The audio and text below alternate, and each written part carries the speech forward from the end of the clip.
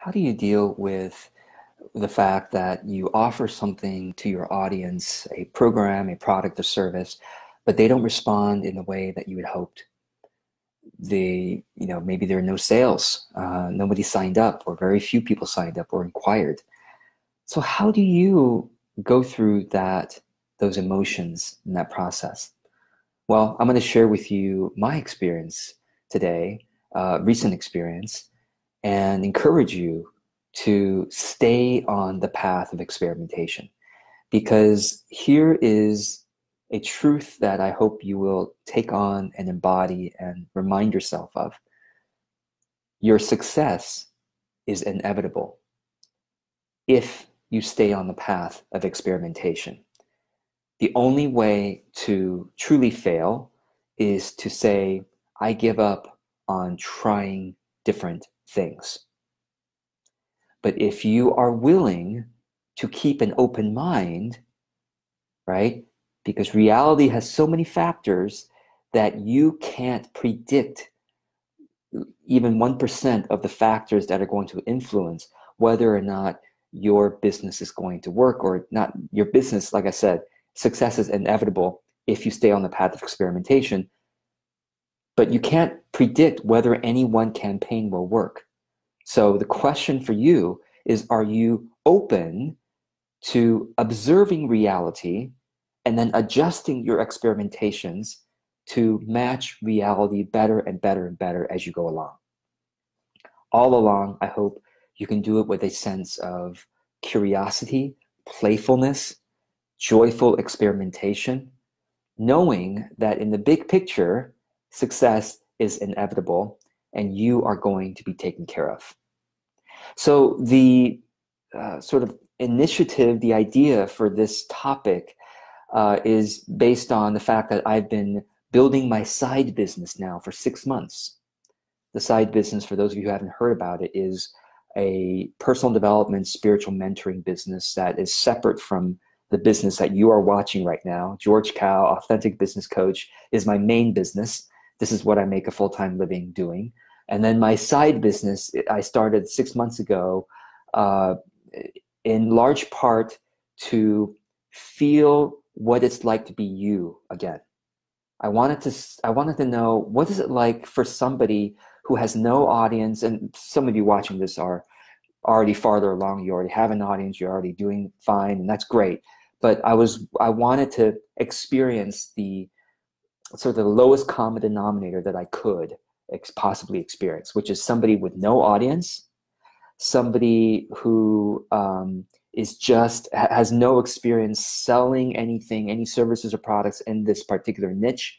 I've never sold a single dollar in the personal growth, spiritual mentoring niche.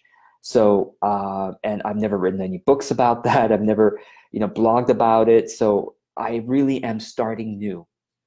And in that side business, and you'll you'll you'll hear more about this uh, why this is a challenge. But in that side business, I am anonymous. I don't reveal George Kao the name.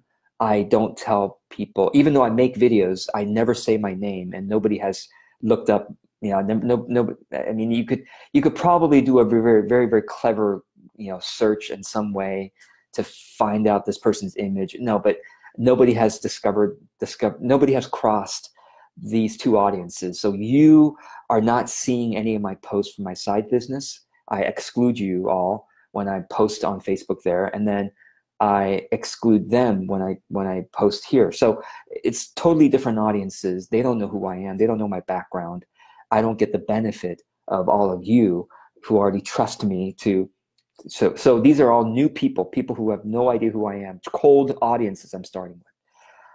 So six months later, uh, working only two hours per week.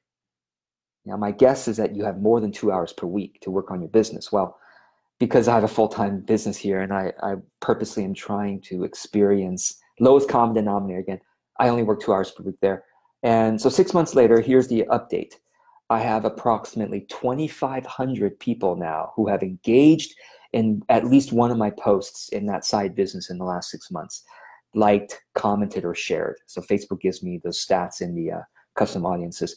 um, those 2,500 people all arrived.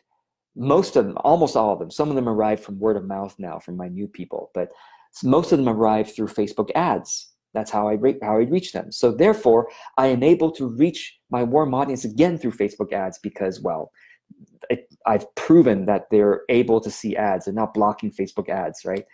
Um, almost all of my posts in that side business have, well, all of them have been on. I don't even have a website yet. Uh, I, am just using a Facebook business page, and almost all of my posts there have been text-only posts, 300 to 1,000 words, no images, uh, no links, just text only, just you know, sharing my thoughts, my message, my you know philosophy. Okay. Um, and then besides the the once weekly text only post, I've also started doing about three months into my my audience building. I started doing Facebook Live videos again.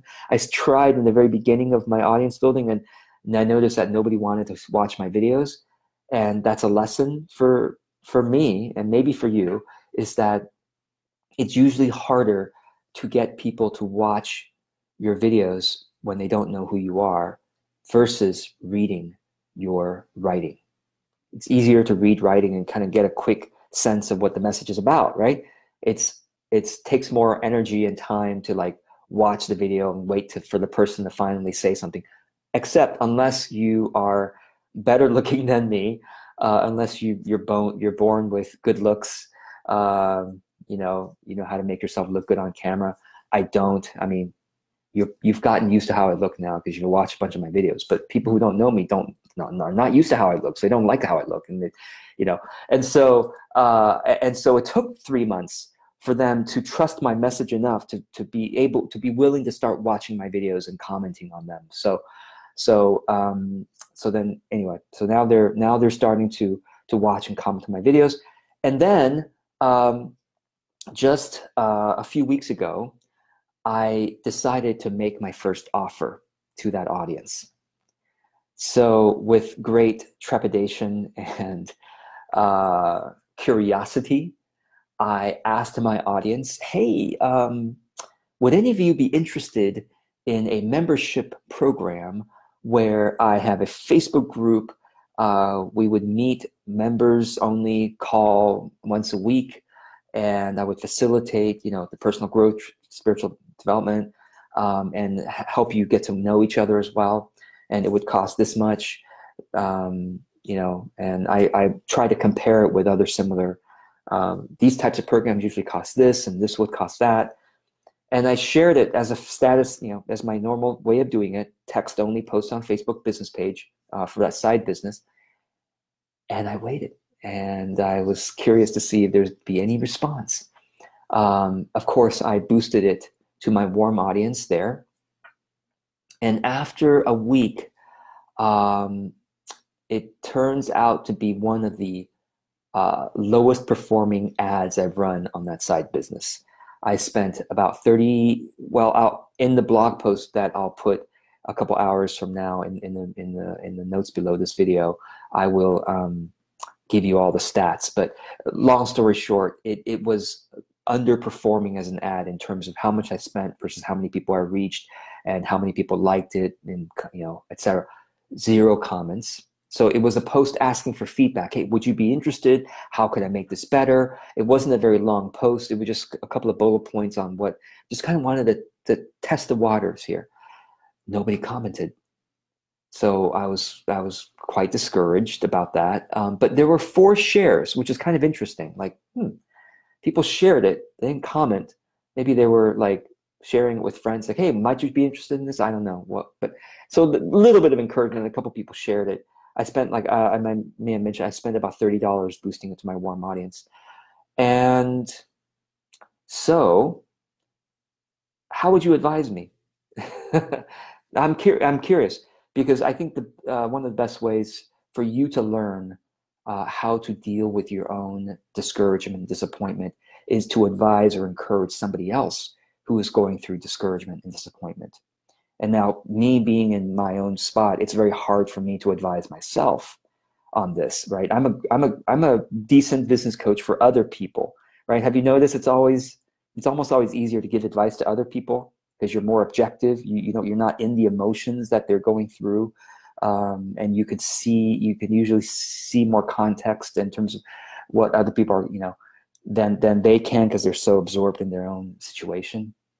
So how would you advise me uh, on this? Knowing everything you've already consumed of my content, uh, you know my some of you know a lot about my methods and my philosophy. So how would you advise me? I'm in this I'm in this state of um, discouragement about that side business. Oh, nobody said anything, and well, this even worked. Six months of work, hundred, you know, uh, over I think over a thousand, yeah, over a thousand dollars for sure of Facebook ads to build the audience, and no sales, no no inquiries, no interest.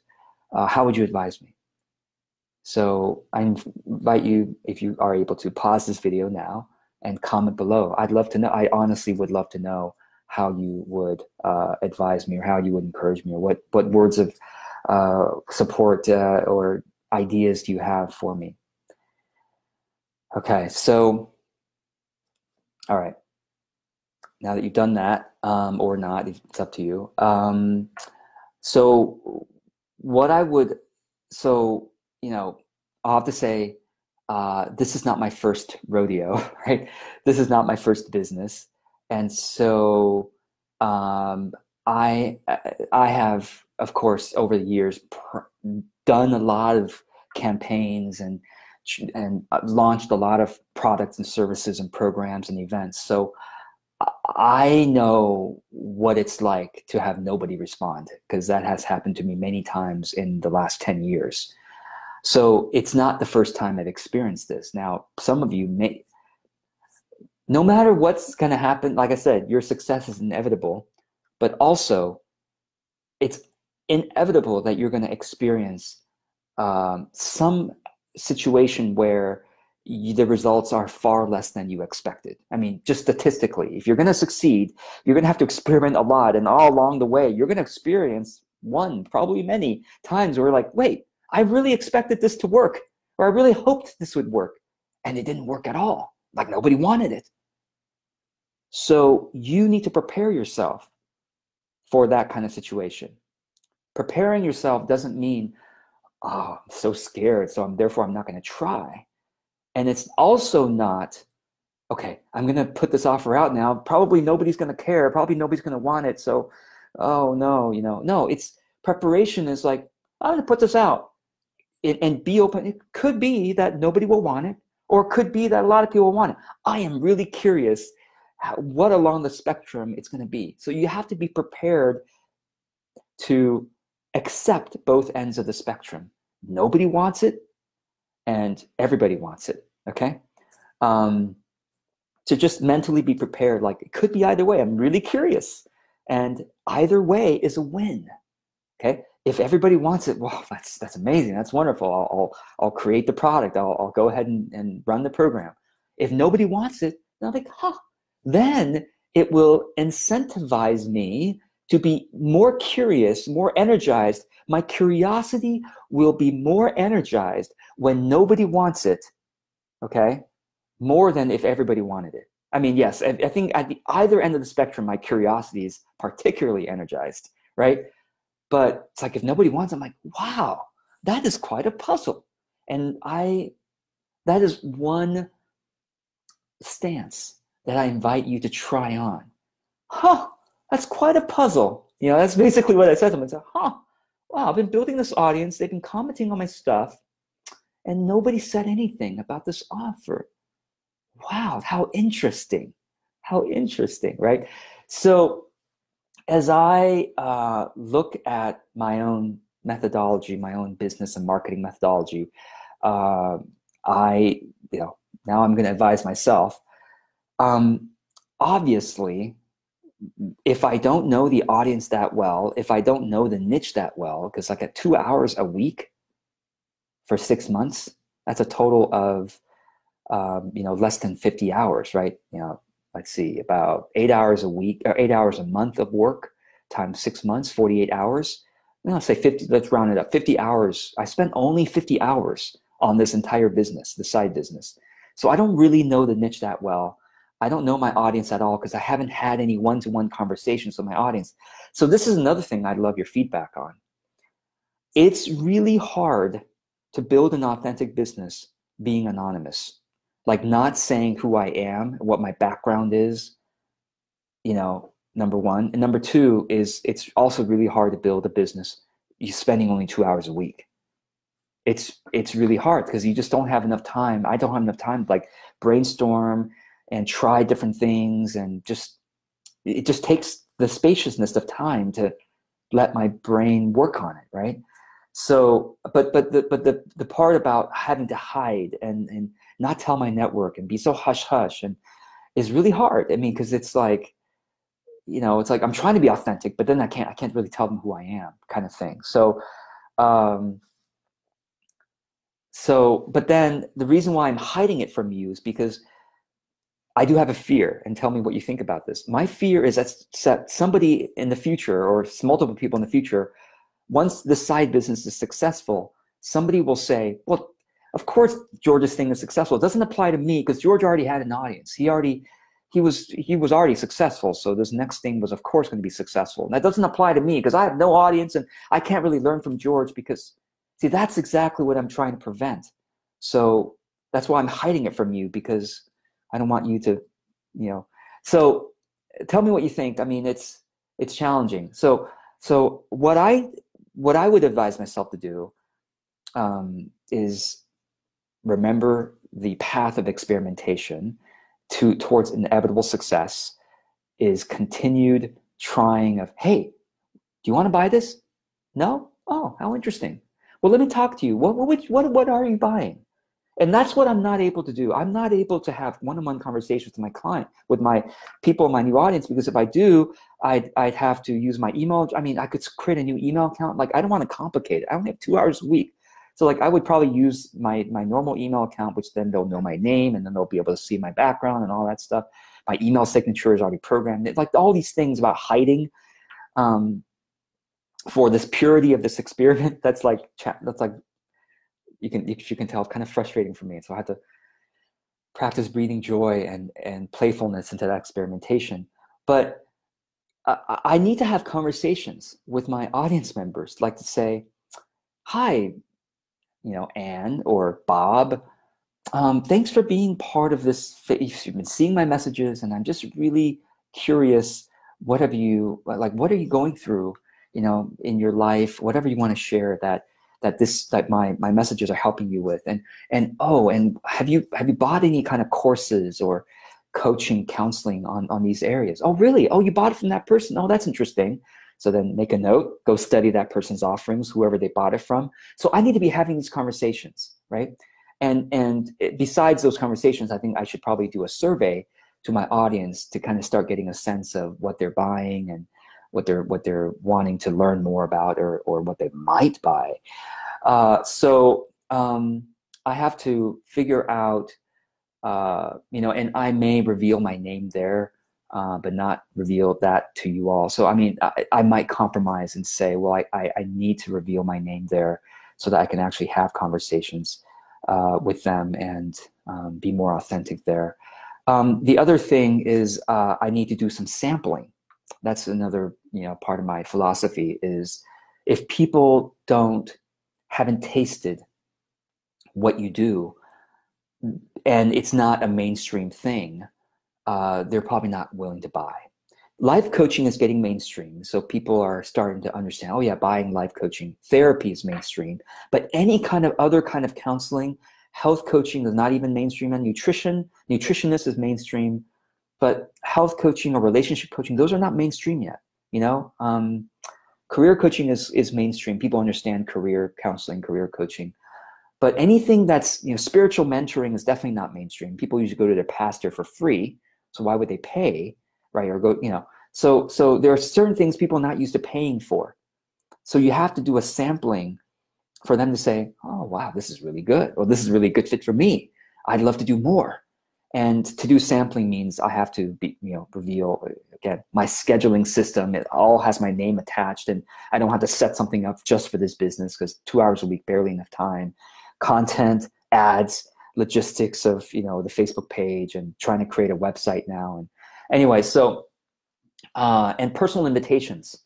That's the other thing. Oh, another thing that that I haven't done yet, of course, is the repetition of the offer. If they only saw it once, it's only planted a seed, and the seed might take some nurturing to grow. So it could be that if I keep mentioning this membership offer, that maybe three months down the road there'll, there'll be enough interest then for people to take me up on it. But it is discouraging that there were no comments um, in the first try, right? So, uh, you know, I am very, I'm much more willing to try new things uh, or to try a reframe than to keep pushing the same thing with many repetitions because I'll tell you this if something is meant to have traction, it usually has traction really early on. If it doesn't have traction really early on, you need to reframe it quite differently, or something needs to change, uh, change significantly enough where it's like a it's like a new version of it, and then see if there's traction early on. And and like if I, for example, if I you know this this post that I boosted the the, the offer reached about a thousand people of my warm audience from the side business. If I got something like you know 10 comments of people you know 1% of those i reached saying yeah i might be interested right? Then then i'll be like okay so there's some possible early traction but zero comments is you know not not a good sign. And if i kept pushing this i don't think repetition will work for something like this so personal invitations that's another uh, thing that i didn't do because again i didn't want to it's awkward for me to reach out and say well this is facebook page blah blah blah but i'm not revealing my name so it's everything is kind of weird about it so uh, anyway, I think I think that's all I'm going to say for for for the update on this project and kind of what I'm learning. Another thing I just I'll end with this encouragement is that a reminder for you that nobody is going to make you do your business. Nobody makes me write my post every week. Nobody does, and that's especially in that side business when I'm just starting to build an audience. Nobody's making me do it. You know, they, they don't make barely even you know care if I don't show up one, week after week, you know, because they're new enough where they're not used to that rhythm yet, right? Even six months is is new, you know, it's new. So nobody's making me do it. So I have to make myself do it.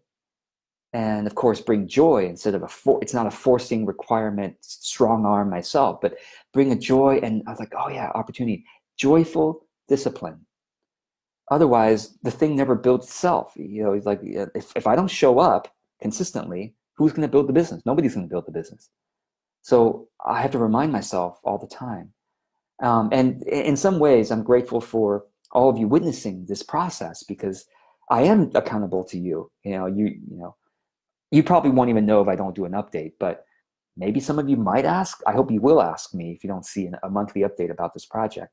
So so in other words, you might want to announce it to your friends and family that you're building a business, that you're building this thing, and ask them to ask you about it. Uh, public accountability, social accountability is incredibly powerful because we are tribal creatures. We are, we, we care about what other people think of, of, of us. So, all right. Well, thanks for those who are, who are joining me here um, for this. I see uh, Jace and Carissa and Sharon, Lisa, Alejandra, and uh, let's see here, Sue, uh, Sue Fern and Kevin. Thank you all.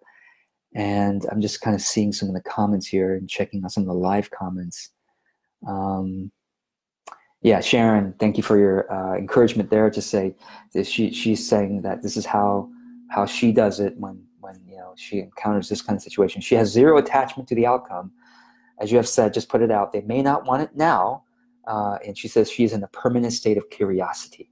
I do exactly that, huh? And then move on to the next step. I wonder if she she continues to write. I wonder if if you've been simply doing text content, maybe your offer was too big. It's too big of a jump from content only to a membership. Yeah, good point. Maybe I should try. Like I said, right? Got to try something totally different. If if I'm trying to sell them an ongoing monthly membership, maybe I should sell them a one-time, twenty-five dollar, you know, two-hour online course or something like that. So yes, you're right. I, I probably should try that next. Um, Jay said, you know, I had a similar experience. People liked and shared it, but just only one person commented. They said they wanted what to offer and uh, what I decided to give myself, Jace wrote, and my audience is to give some more time and to keep building a relationship between us. After a few months, I'll try again. If that's good enough for the nice, I suggest you give it a bit more time. Again, following your previous advice, you might also want to consider the sampling. Yeah, so that's the that's part of the challenging thing. Um, so let's see here.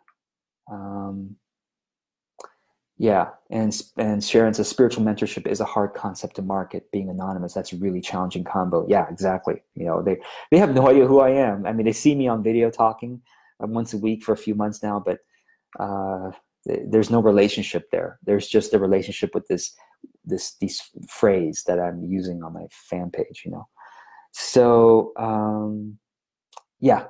All right. Well, thank you all, and I look forward to any other comments you want to, suggestions, ideas you want to share. And I hope that this, and of course, I'm going to keep going. Remember, success is inevitable. I, I, believe that. I truly do. And I hope you will believe it too. Repeat that to yourself. Success is inevitable. Am I willing to stay on the path of experimentation? And I am. I'm, I'm willing because thanks, thanks also to all of you who are witnessing my journey. So please use your, uh, your own audience, your own friends and family, like ask them, please be my accountability for my project, you know. Uh, so all right, I hope this is helpful, encouraging. If you have any questions or anything you want me to do videos on in the future, let me know. I look forward to hearing from you. Take care. Be well.